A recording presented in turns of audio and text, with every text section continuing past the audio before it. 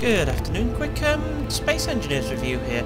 And it's not a review as such, it's a tip I like to use in gameplay for mining ships. As you can see in front of us, we have a um, rather unusual looking craft. It's just basically a shell at the minute. I'll just slap some reactors and things on it just to see how it looks.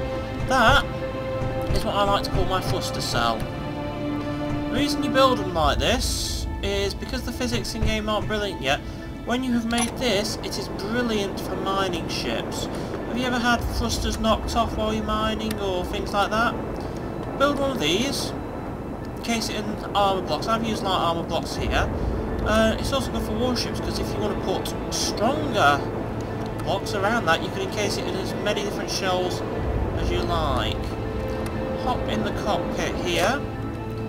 As you can see, we have the thrusters working. We've unlocked the feet there.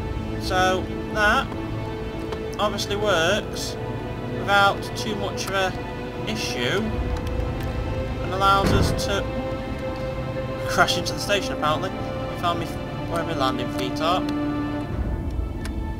So nippier than I thought. Right. Once you've enclosed it in blocks however, I've slapped a cockpit on the front of it here. It should still work exactly the same. Obviously I'm overloading my power because I've only got a little reactor on there. But you have a self-enclosed power block. There is no no way that anything can get in and damage those thrusters, although I have just pulled my landing foot off coming down too quickly.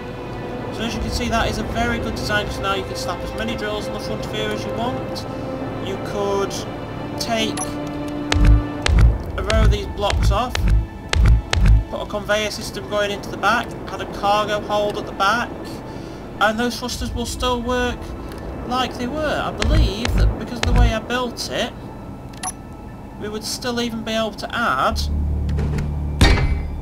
another row of thrusters. That one's obviously facing backwards. Take my cockpit off. I'll add another row facing forward. Put a new cockpit on there. Try that. Switch to third person. Take off. Obviously a bit of extra increased speed there. As long as you leave enough space between these thrusters, they will not cause any problems whatsoever. Um, I hope that's helped you in an idea for your mining ship. There's one other idea I had, which I will do another video on later if it works. I want to make a large ship. And the only way into the cockpit of it will be to go through the reactor room, the thruster room like this. Just walk, obviously a bigger space so you can fit through it. Walk through it.